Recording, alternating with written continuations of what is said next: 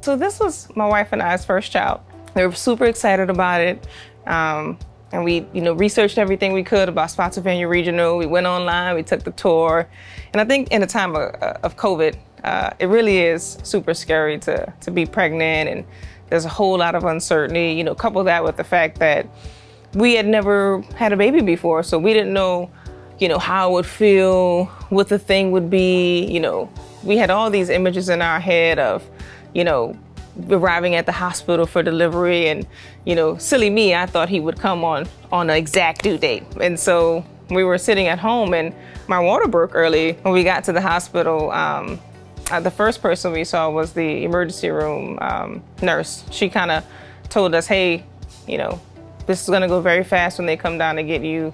She mentally prepared us for what would happen. And, you know, I think that kind of set the tone for the rest of the stay for us. And so she came down to get us and she brought us up to triage where we were met with um, one of the best triage nurses I've ever seen. She was very patient. She was super calm.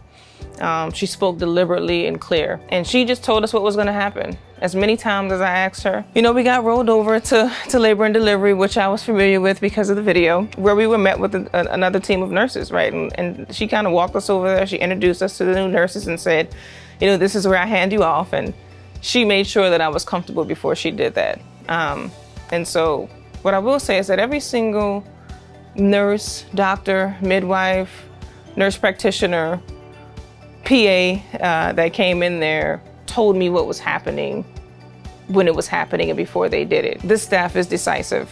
They work together. They're a team. Um, everyone knows what's happening. They communicate. You know, you're dealing with a, a terrified mother who in turn has a terrified wife. I'm hysterical. She's trying to calm me down. She's, you know, making sure the baby is good. Um, I think you know, having that teamwork and that communication among the nurses and the staff was super important. I, I was telling my mother, we got to delivery, it really wasn't, you know, just a, you know, what you would see on uh, a, a, lot of the, the TV shows that I was watching at the time, right? It was celebratory. It was a celebration. Um, when he came out, I heard doctors and nurses yelling out happy birthday.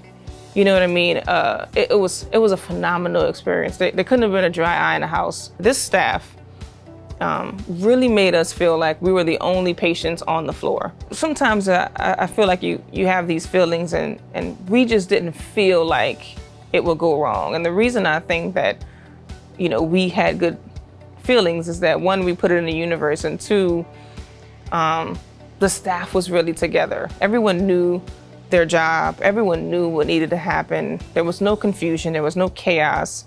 Uh, the feeling was really because we were dealing with people who were beyond capable.